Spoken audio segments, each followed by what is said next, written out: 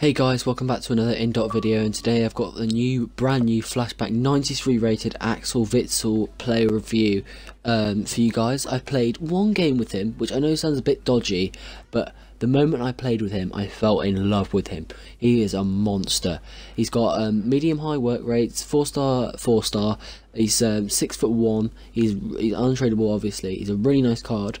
I personally put a catalyst on him just because it boosts his pace and his passing, even though his passing doesn't really need a boost. There's his stats: um, 87 sprint speed plus 10 now, so 97, and 86 acceleration, which is beastly. His defending is really nice, as you saw there, 95 um, stand tackle, I think it was, or slide tackle, uh, but 93 slide tackle, I think. Yeah, there you go. There you go. I just because recording him off. 92 strength, 92 stamina, so he's not going to get tired. So yeah, he's overall. Also, there are his traits.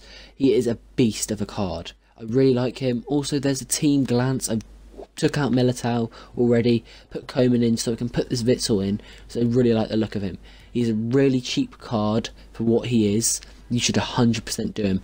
He is so good. He's not clunky at all. He looks like he'd be clunky. Um, and one of the YouTubers I watch called Prophecy, he said his footmus was clunky. But this this flashback is on a different level. And the four star, four star is a bonus as well. So here's a here's a clip of him uh, with a really nice uh, really nice challenge.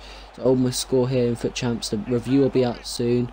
95, I think, Ter Stegen uh, catching up. Also, I nearly read him there. But before I picked up this Witsel, who came out tonight, um, I had Loan Seedorf and I really liked him too. But there's his challenge. I really loved him. So thank you for watching. See you guys in the next video. Bye.